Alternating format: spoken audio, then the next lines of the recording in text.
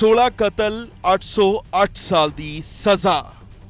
US ਦੀ Guatemala court ਨੇ ਸੁਣਾਈ 808 ਸਾਲ ਦੀ ਸਜ਼ਾ। ਕੋਰਟ ਨੇ ਦੋਸ਼ੀ ਨੂੰ ਦਿੱਤੀ 808 ਸਾਲ ਦੀ ਸਜ਼ਾ। ਸਾਲ 2008 ਚ ਬੱਸ ਹਾਈਜੈਕ ਕਰ 16 ਲੋਕਾਂ ਦਾ ਕੀਤਾ ਸੀ ਕਤਲ। ਕੋਰਟ ਨੇ ਹਰ ਕਤਲ ਲਈ ਸੁਣਾਈ 50 ਸਾਲਾਂ ਦੀ ਸਜ਼ਾ। ਅਪਰਾਧਿਕ ਗਤੀਵਿਧੀਆਂ 'ਚ ਸ਼ਾਮਲ ਹੋਣ ਲਈ ਅੱਡ ਤੋਂ 8 ਸਾਲ ਦੀ ਸਜ਼ਾ। ਵੱਡੇ ਡਰੱਗ ਤਸਕਰ ਮੋਰਾਲੈਸ ਨੇ ਕੀਤੀ ਸੀ ਬੱਸ ਹਾਈਜੈਕ ਬੱਸ 'ਚ ਡਰੱਗ ਤਸਕਰੀ ਦੀ ਮਿਲੀ ਸੀ ਖਬਰ।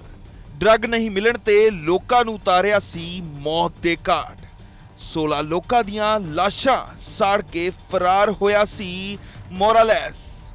14 ਸਾਲਾਂ ਤੋਂ ਪੁਲਿਸ ਕਰ ਰਹੀ ਸੀ ਮੁਲਜ਼ਮ ਦੀ ਤਲਾਸ਼।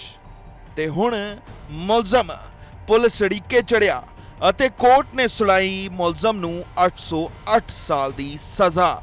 ਦਰਅਸਲ ਯੂਐਸ ਦੇ ਗੁਆਟੇਮਾਲਾ ਦੇ ਵਿੱਚ ਰਹਿਣ ਵਾਲਾ ਡਰੱਗ ਤਸਕਰ ਮੋਰਲੈਸ ਜਿਸ ਨੇ 2008 ਦੇ ਵਿੱਚ ਇੱਕ ਬੱਸ ਹਾਈਜੈਕ ਕਰ ਲਈ ਸੀ, ਉਸ ਵੇਲੇ ਇਹ ਖਬਰ ਕਾਫੀ ਵੱਡੀ ਹੋ ਗਈ ਸੀ, ਜਿਸ ਤੋਂ ਬਾਅਦ ਇਹ ਸ਼ਖਸ ਫਰਾਰ ਸੀ। ਇਸ ਨੂੰ ਫਿਰ ਗ੍ਰਿਫਤਾਰ ਕੀਤਾ ਜਾਂਦਾ ਹੈ ਤੇ ਹੁਣ ਇਸ ਮਾਮਲੇ ਦੇ ਵਿੱਚ ਯੂਐਸ ਕੋਰਟ ਦੇ ਵੱਲੋਂ ਫੈਸਲਾ ਸੁਣਾਇਆ ਗਿਆ ਹੈ। ਯਾਨੀ ਕਿ 16 ਲੋਕਾਂ ਦਾ ਇਸਨੇ ਕਤਲ ਕੀਤਾ ਸੀ, ਤਾਂ ਹਰੇਕ ਕਤਲ ਪਿੱਛੇ 50 ਸਾਲ ਦੀ ਸਜ਼ਾ। ਤਾਂ ਕੁੱਲ ਮਿਲਾ ਕੇ ਇਸ ਦੋਸ਼ੀ ਨੂੰ 808 ਸਾਲ ਦੀ ਸਜ਼ਾ ਹੋਈ ਹੈ।